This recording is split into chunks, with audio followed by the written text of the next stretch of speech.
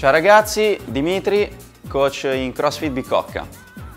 Oggi andiamo a vedere un workout che comprende una prima parte di forza dove andremo a fare 5 dip col sovraccarico agli anelli. Tre circuiti AMRAP da 4 minuti. Abbiamo 27 American Swing, 27 wall ball, 27 calorie alla bike o vogatore.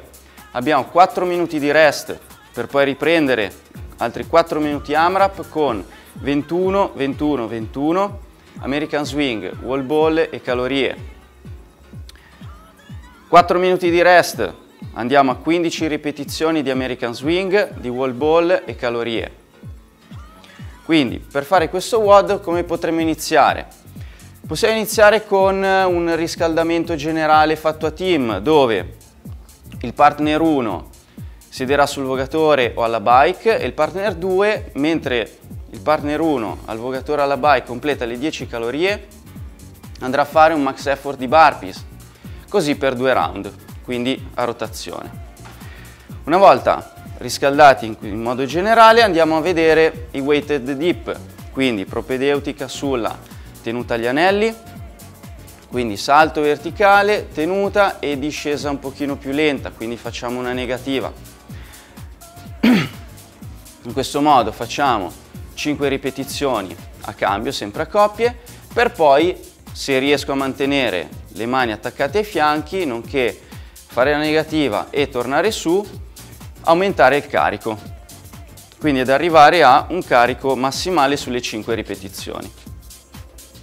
Completata la parte di forza, andiamo a vedere un warm up specifico su quello che sarà poi il WOD.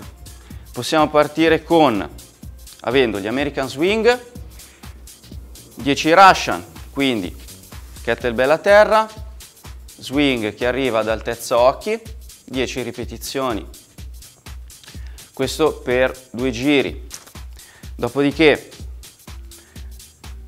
wall ball, possiamo partire con le wall ball per poi tornare indietro. Abbiamo 10 mad ball, uh, mad ball squat susseguite da 10 med ball thruster, senza lasciare la palla andiamo avanti facendo 10 wall ball.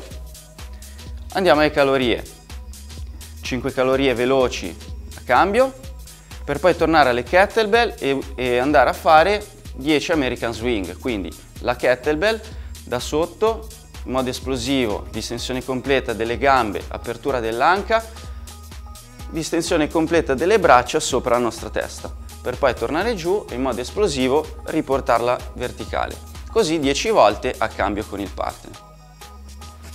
Completato questo warm up eh, specifico, quindi prima un warm up generale, poi specifico, focalizzato su quelli che sono i movimenti del, che andremo a fare nel WOD, possiamo partire con il WOD vero e proprio. Enjoy! Ciao!